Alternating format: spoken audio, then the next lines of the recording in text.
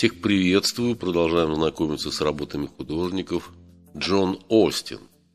Джон Арчибальд Остин. Британский книжный иллюстратор.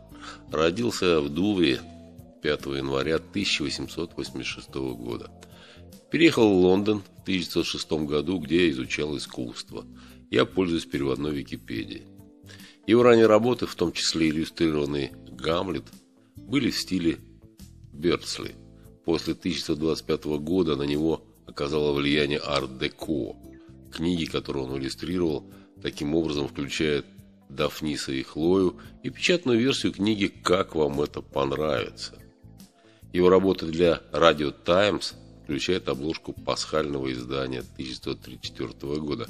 «Радио Таймс» – это британский еженедельный информационный журнал, посвященный расписанию программ телевидения и радио, содержащий другие материалы, такие как интервью, обзоры фильмов и статьи об образе жизни.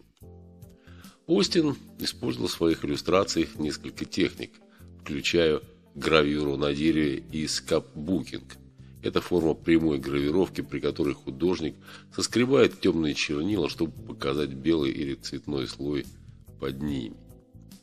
Остин менял стиль в соответствии с текстом, который он иллюстрировал.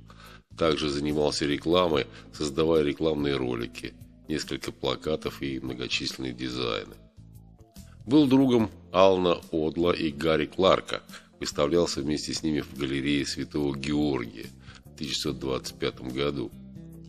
Умер Джон Арчибальд Остин 27 октября 1948 года.